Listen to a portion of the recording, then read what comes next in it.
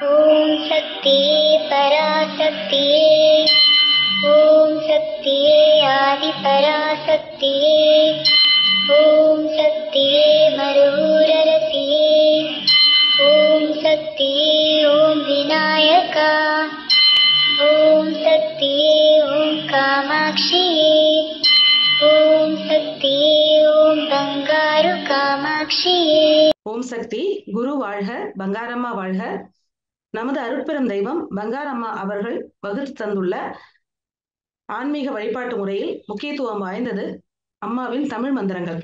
அம்மாவால் உருவேற்றப்பட்ட தமிழ் மந்திரங்களை வழிபட்டு பலனடைந்து வருபவர்கள் ஏராளம் ஏராளம். இந்த தமிழ் மந்திரங்களை அம்மா அள்ளி அள்ளி விழுங்குவதாக அம்மாவே அருள்வாக்கில் அருளியுள்ளார். இப்பேற்பட்ட சிறப்பு வாய்ந்த இந்த தமிழ் மந்திரங்களை பொருள் உணர்ந்து நாம் படிக்க வேண்டும். பக்தர்களுக்கு இந்த மந்திரங்களின் பொருளை முழுமையாக அறியும் வண்ணம் நமது சித்தப்பீடத்தில் ஆயிரத்தெட்டு போற்றி மலர்கள் விளக்க உரை என்று ஒரு புத்தகம் வெளியிடப்பட்டுள்ளது. அந்த புத்தகத்தில் உள்ள தகவலும் அது சார்ந்த உயர்ந்த நூல்களை எல்லாம் படித்து அதன் அர்த்தங்களை தொகுத்து நம்மிடையே சக்தி திரு பாலு பிரசாந்த் அவர்கள் இந்த மந்திரங்களுக்கு அம்மாவின் பெருங்கரணினால் விளக்கங்களை கூறி வருகிறார்கள். அதில் இன்று மூன்றாவது மந்திரமான ஆயிரத்தெட்டு போற்றி மலர்களில் உள்ள மூன்றாவது மந்திரத்தின் பொருளை பார்க்கலாம் சக்திகளை. வாருங்கள். பாலகிருஷ்ணன் சக்தி நீங்க பேசலாம். ஓம் சக்தி. ஓம் சக்தி. குருவடி சரணம் திருவடி சரணம். ஓம் ஓம் சக்தியே ஆன்மீக குரு அருள் திரு வங்கார அடிகளார் அவர்களின் திருவடிகளே சரணம். உனக்கு எல்லாவற்றையும் கற்றுக் கொடுத்து விட்டேன் மகனே. உனக்கு தேவையான அனைத்தும் உன் உயிரில் இருக்கிறது. அந்த உயிரை பக்தியால் பாதுகாத்துக் கொள்ள வேண்டும் என்பது அன்னையின் அருள்வாக்கு. அந்த உயிரை எவ்வாறு பக்தியால் பாதுகாத்துக் கொள்ள வேண்டும் அப்படின்ற ஒரு நெறிமுறையை பற்றி அம்மா அவர்கள் பல வழிபாட்டு முறைகளிலும் வேறு முறைகளிலும் நமக்கு வழித்து தொகுத்து வழங்கியிருக்கிறார்கள். அதில் முக்கியமான ஒரு வழிபாட்டு முறை மந்திர வழிபாடு. அந்த மந்திர வழிபாட்டை வந்து நம்ம பொருள் உணர்ந்து சொல்லும் போது அதனுடைய பலன்கள் நமக்கு பன்மனவுகளாக அதிகரிக்கிறது. இதுதான் வந்து கருத்து. அதன்படியாக ஆயிரத்தெட்டு போற்றி மலர்களே வந்து அம்மா எட்டா வரலாணையின்படி நான் வந்து உங்களுக்கு சொல்லிக் கொண்டு வருகிறேன் தொடர்ந்து. இன்றைக்கு மூன்றாவது மந்திரம் ஓம் உயர்வுற உயர்நலம் உடையாய் போற்றிப்போம். இதுதான் இந்த மந்திரம். இதுல வந்து தொடக்கத்திலையும் இறுதியிலும் இருக்க பிரணவத்தை நீக்கிவிட்டால் உயர்வுற உயர்நலம் உடையாய். இந்த வரியை வந்து எல்லாருக்குமே தெரிஞ்ச ஒரு நூல் அதாவது திருவாய்மொழி நம்மாழ்வார் எழுதின திருவாய்மொழியில உள்ள முதல் பாடல். எல்லா வைணவ மதத்தினர்களுக்கும் இது எல்லாருக்குமே தெரிஞ்சிருக்கும். ஆஹ் அந்த பாடல ஒரு முறை நம்ம பார்க்கலாம். உயர்வுற உயர்நலம் உடையவன் எவனவன்? மயர்வுற அறமதி நலம் அருளினன் எவனவன்? அயர்வுறும் அமரர்கள் அதிபதி எவனவன்? துயரரு சுடரடி தொழுது என் எழு என் மனமே. இது வந்து அஹ் திருவாய்மொழியினுடைய முதல் பாடல். இந்த திருவாய்மொழி ரொம்ப பெருத்த நூல். ஆயிரத்தி நூத்தி ரெண்டு பாடல்களை உடைய பெரிய நூல். பொதுவாக நம்ம வந்து அஹ் இப்ப நம்ம அம்மா அவர்களை நம்ம எடுத்தோம் அப்படின்னா ஒரு ஆன்மீக புரட்சி செய்தவர்கள் அப்படின்னு சொல்லிட்டு தான் எல்லாரும் பேசுறாங்க. ஏன் இப்படி செஞ்சாங்க? ஒரு குறிப்பிட்ட சமூகத்தார் மட்டுமே வந்து அஹ் எடுத்து கை தேர்ந்து இருந்த வழிபாட்டு முறைகளை எளிய மக்களும் வந்து பயன்பாட்டுக்காக வந்து அதை சுருக்கி எளிமைப்படுத்தி சூக்குமமாக பல உள்ளார்ந்த அர்த்தங்களை கொண்டு பழைய வழிபாட்டு முறைகளை நம்ம அம்மா எழுதின்றது அதன் வரிசையில வந்து பல ஆண்டுகளுக்கு முன்பாகவே இந்த நம்மாழ்வாரும் அதே தான் பண்ணார். சமஸ்கிருத மொழியில் இருந்த நான்கு வேதங்களுக்கும் நிகரான தமிழ் மந்திரங்களை அவர் கொடுத்தார். அதில் முக்கியமான வந்து தமிழ் மந்திரம் என்பது திருவாய்மொழி. திருவாய்மொழி வந்து ஆஹ் இப்ப பொதுவாக வந்து அஹ் வைணவர்கள் அப்படின்னு பார்க்கும்போது பரபிரமத்தின் ரூபம் அப்படின்னு நம்ம எடுத்துக்கும் போது விஷ்ணு அதாவது பெருமாள் அப்படின்னு தான் நம்ம எடுத்து அதை அவருக்கு பாடியிருக்கிறார். அதை வந்து எதற்காக வந்து புலவர் சுந்தரேசன் இங்க வந்து ஒரு ஒரு வரியாக நம்ம ஆயிரத்தி எட்டு போற்றி மலர்கள்ல எடுத்திருக்காரு அப்படின்னா இந்த வரிகளை நீங்க பார்க்கணும். இதுல வந்து இதை வந்து நிறைய முறைகள்ல நம்ம வந்து படித்து தெரிஞ்சிருக்கலாம். இப்ப வந்து முதல் மட்டும் இறுதி வரிகளை மட்டும் எடுத்து படிப்போம். உயர்வுற உயர்நலம் உடையவன் எவனவன்? துயரரு சுடரடி தொழுது எழு என் மனநே மனனே அப்படின்னு சொல்லிட்டு முடிக்கிறார். அதாவது நம்ம நம்ம வந்து நம்ம பார்த்துருக்கோம். ஆஹ் இப்ப வந்து குரு போற்றியில கூட வந்து ஒரு ஒரு மந்திர வரி வரும். ஆங்காரம் தனிப்பாய் போற்றிவோம். எதற்கு ஆங்காரம் தனிப்பாய் மற்றும் போற்றுவோம்? வேற எதுவும் கோபம் தனிப்பாய்னு எழுதியிருக்கலாம். குரோதம் தனிப்பாய்னு எழுதியிருக்கலாம். ஏன் ஆங்காரம் தனிப்பாய்னு எழுதியிருக்காரு புலவர் சொக்கலிங்கம்?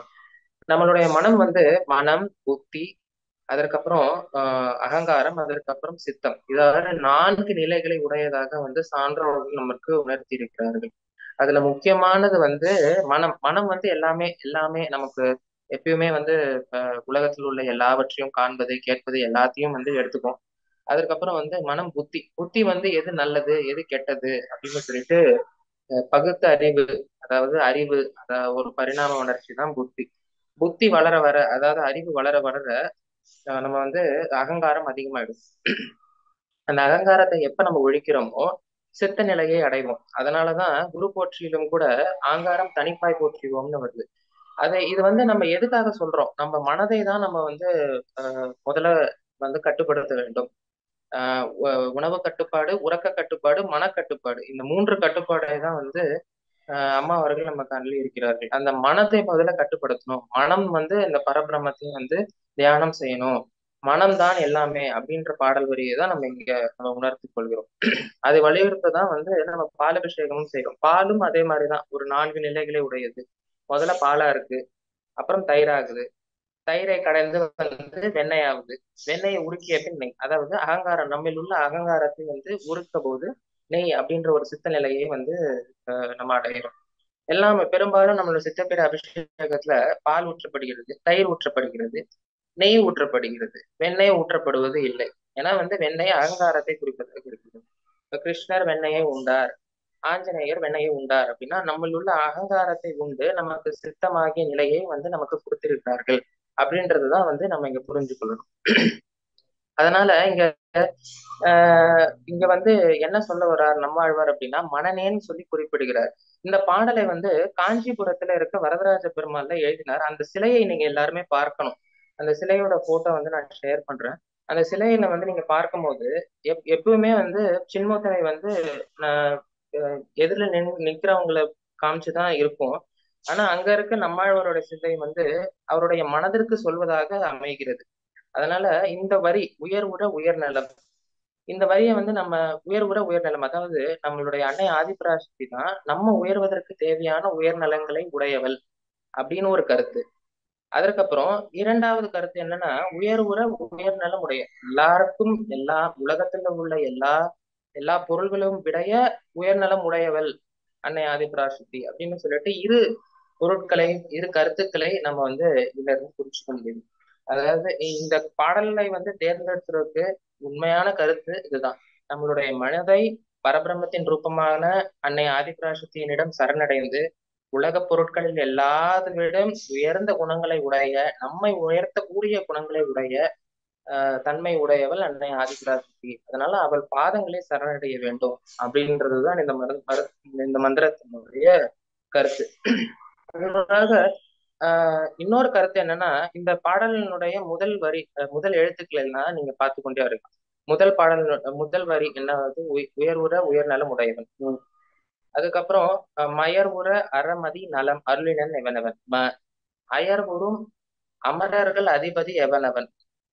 ஆஹ் அதுக்கப்புறம் தூவது இப்ப வந்து இந்த முதல் மூன்று வரியை நம்ம பார்ப்போம். நம்ம ஓங்காரத்தின் பிரிப்பை பத்தி பார்க்கும்போது அ உ ம அப்படின்னு சொல்லிட்டு மூன்று முறைகளை படிப்போம் அதனால வந்து இங்க திருவாய்மொழியில நம்மாழ்வார் வந்து எதற்காக இந்த வரிசையை மாற்றினார்? எதற்கு வந்து உ ம அ அப்படின்ற வந்து மந்திரத்தை வந்து எதற்காக மாத்தினார் ஓங்காரத்தை அப்படின்னு நம்ம பார்க்கும்போது அவர் ஒரு கருத்தை உள்ளார்ந்து வச்சிருந்தார். என்னன்னா அஹ், உச்சித அப்படின்னு சொல்லிட்டு பெருமாளுக்கு ஒரு நாமம் இருக்கிறது. அந்த உச்சித அப்படின்ற நாமத்தை விளக்கவே தான் திருவாய்மொழி மொத்தம் ஆயிரத்தி நூற்றி இரண்டு பாடல்களையும் இயற்றினார் நம்மாழ்வார் என்றது வைணவ கருத்து. அதே நம்ம சாக்த மதத்தின் அதாவது சக்தி வழிபாட்டு அஹ், தத்துவத்துல வந்து நம்ம பார்க்கும்போது உமா அப்படின்னு சொல்லிட்டு ஒரு மந்திரம் இருக்கு. உ ம இதற்கு சக்தி பிரணவம் என்பது பெயர். உ குட்டல் ம இம்மு குட்டல் அ. இந்த இந்த சக்தி பிரணவத்தை நம்ம உச்சரிக்கும் போது எப்படி ஓங்காரத்திலிருந்து அஹ், பிரபஞ்சம் தோன்றியது என்று கூறுகிறோமோ சக்திக்கு அழிவில்லை ஆக்கமும் இல்லை என்ற தத்துவத்தை சக்தி பிரணவம் நமக்கு உணர்த்துகிறது. ஊ அப்படின்னு சொல்லும் போது உத- உதடுகள் குவிந்து ஒரு நிரந்தர நிலையை நமக்கு உணர்த்துகிறது. அதை உணர்த்தவே தான் புலவர் சுந்தரேசன் அவர்கள் இந்த பாடலினுடைய இந்த வரியை தேர்ந்தெடுக்கிறார். இதைதான் நம்ம வந்து உணர்ந்து இந்த மந்திரத்தை நம்ம படிக்கும் போது இந்த கருத்தை நம்ம வந்து உள்ளார்ந்து வச்சுக்கணும். உயர்வுற உயர்நலம் உடையாய். அதாவது நம்மை உணர்ந்து நம்மை உயர்த்தவும் எல்லா பொருட்களினுடைய உயர்ந்த தன்மையும் உடைய அன்னை ஆதிபராசக்தியை வணங்குவோம். அதாவது அதுதான் இந்த மந்திரத்தினுடைய கருத்து. ஓம் உயர்வுற உயர்நலம் உடையாய் போற்றுவோம். ஓம் சக்தி குருவடி சரணம் திருவடி சரணம். மற்ற மந்திரங்களின் விளக்கங்களில் வரும் வாரங்களில் காணும் ஓம் சக்தி. ஆஹ் பிரசாந்த் சக்தி மிக மிக அருமையா ஆஹ் ஓம் உயர்வர உயர்நலம் உடையாய் என்ற மந்திரத்திற்கான விளக்கத்தை பல பல அரிய கருத்துக்களை கூறி மிக அழகாக விளக்கியுள்ளார். இதுவரை நாம் அறியாத இந்த உமா உமா என்பது அவன் அன்னையின் பெயராக மட்டுமே நாம் அறிந்திருந்தோம். ஆஹ் பல சக்திகளுக்கும் தெரிந்திருக்க வாய்ப்பில்லை. மிக அழகாக அந்த ஓங்காரம் ஆங்காரம் மக மமகாரம் ஆ உ இம் அப்படிங்கிற இந்த மூன்று எழுத்துக்கள் ஆஹ் எவ்வாறு ஓம் என்ற அந்த பிரணவத்தை குறிக்கும் இந்த சொல் உமா என்ற இந்த ஊ ஊங்காரம் இந்த வார்த்தையின் மூலமாக மிக உயரிய பொருளை தருகிறது. உயர்வு உயர்வு த- தரக்கூடிய அத்தனை நலங்களையும் நமக்கு வழங்கக்கூடிய அன்னை ஆதிபராசக்தியை வணங்கக்கூடிய அந்த மந்திரத்தின் பொருளை மிகச் சிறப்பாக அறிந்து கொண்டோம். மிக்க நன்றி பாலகிருஷ்ணன் தம்பி அவர்களே. ஓம் சக்தி. நன்றி வணக்கம். வாழி இறைவன் நான் என்னல் வாழி உன்னிறை சக்தி பீடம் ஓமெனும் ஒளியில் வாழி.